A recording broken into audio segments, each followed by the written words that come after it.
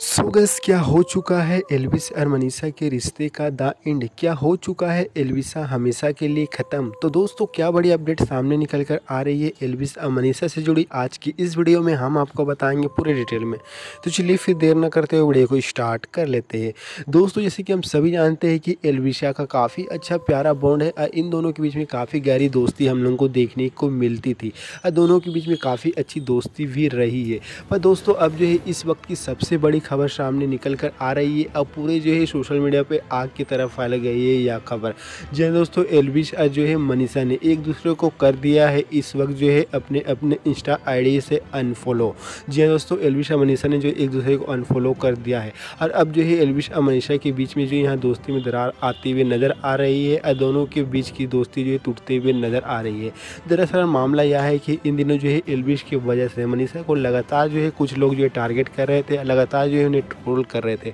अब मनीषा के खिलाफ जो है गलत एफआईआर जो है दर्ज की जा रही थी जिसकी वजह से मनीषा रानी जो है काफ़ी फ्रस्ट्रेशन हो गई थी और मनीषा रानी को इन सभी चीज़ों का जो है बिल्कुल भी आदत नहीं है और मनीषा रानी जो है हमेशा कंट्रोवर्सी से दूर रहती है और इसी वजह से जो है मनीषा रानी को लगातार टारगेट किया जा रहा था इसी वजह से मनीषा रानी ने फैसला किया है कि अब वह जो है एलविश यादव से दूर रहेगी और इसी वजह से जो है मनीषा रानी ने एलविश यादव को अनफॉलो कर दिया है और एलविश यादव ने भी जो है अनफॉलो कर दिया है मनीषा रानी को और दोनों ने दोस्ती अब तोड़ ली है।